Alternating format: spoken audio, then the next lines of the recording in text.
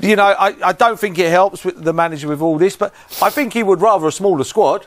I I mean, it's too big. I mean, I've wrote down Arsenal's team already today. I mean, uh, if you'd have said to me today before, if we'd have been upstairs and said, name the Chelsea team, I think no one would have been within four players. And that's the problem. And we are in February. We're in February. Ruben Loftus Cheek is a shock today. Yeah, but I can understand him because probably the Mason Mount one, London Derby, probably.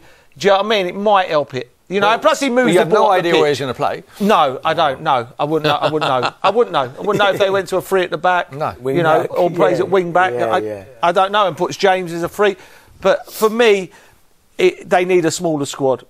They need to. You, you can't spend all this money and not balance it up. Surely. I mean, so for me, it it. does, the Mason Mount Yeah. one shocks me. I'm a big Mason Mount fan.